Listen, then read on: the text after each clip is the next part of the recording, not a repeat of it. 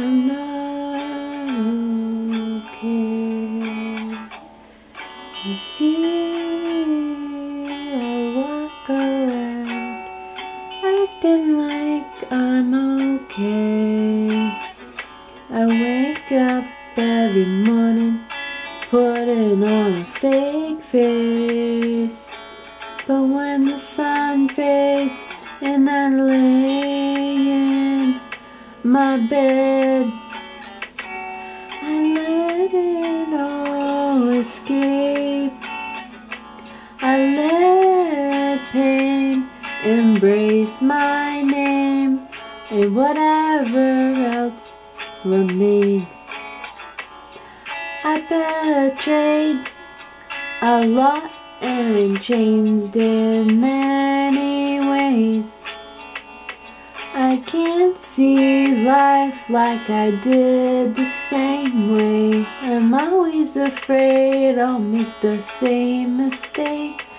I don't want my family to ever be ashamed, so I keep myself contained and wash all my sins down the drain. I keep everything black and gray, but there seems to be a buffer there. Seems to be a delay. I'm just tired of the suffering. I just want to be okay. And when the holidays come around, I never celebrate. It just seems to be a burden I can't explain.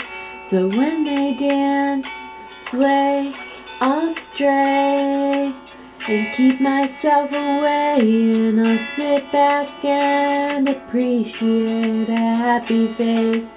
Then I'll be filled with envy and my heart will ache. I'll feel three times more heavy and I wish to be erased. I'll feel like there's plates on my shoulders and weights on my waist. So when I want I can't run away, I'll stay where I am.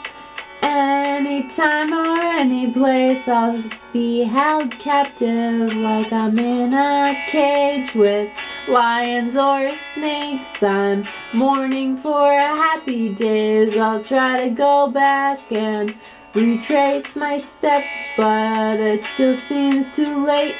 Someone scraped away my trail so I can't come back, which I came.